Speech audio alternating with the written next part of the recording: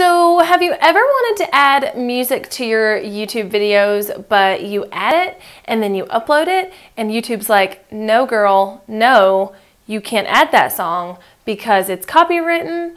Well, I'm gonna tell you where you can get some free or very inexpensive music to use on your YouTube videos to make them better, more engaging, and less generic.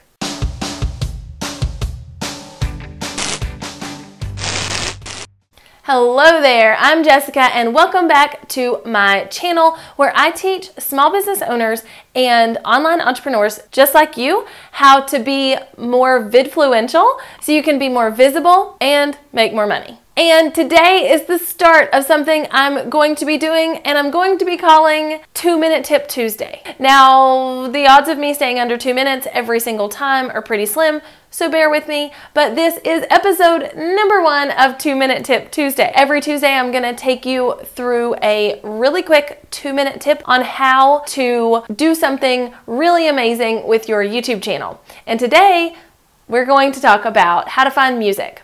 Now I have three resources for you for finding music for your YouTube channel, whether that's for your intro or to overlay music over some like B-roll or something like that. So let's just get into it. Okay, so part of what I'm gonna do here on Two Minute Tip Tuesday is that the actual tip will be two minutes, but the content before and after may stretch it out a little bit.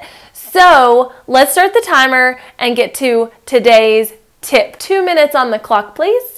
My first and most favorite resource is Epidemic Sound with their YouTube creator um, subscription. Now, this service does cost monies, but it's super inexpensive and it's based on how many views per month you get on your channel. But every single song in this subscription has been curated to be sure it's safe for YouTube and safe for monetization and copyright infringement on YouTube. So you're totally safe using any song found inside the library once you sign up for the subscription. Now, my second favorite source for music on YouTube is SoundCloud, but you do need to be really careful here. You need to search under the songs that are covered under the Creative Commons, which basically means they're totally okay to be used on videos and things like that.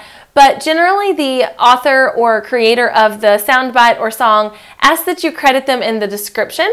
So, definitely, it's one of those you have to kind of check through each one. But you can filter by those who have the Creative Commons license, so it's a little easier. And then, my third favorite place to find YouTube music is the audio library on YouTube. Most of the content there is suitable for any videos and you just have to credit the author as well. Um, and then they definitely have everything written out so you know what you can use and what you can't use but it's one of my favorite ways to find music. The only problem I have the, with this source is that it tends to get very generic and very, um, you know, everybody uses that music type of thing. So use it at your own discretion. So there are three ways you can find music for your YouTube channel, for your intros, for your videos, whatever. And I will link all of them in the description box below. Okay, so use that two minute tip and go make your YouTube channel better so that you can be a video rock star in your business.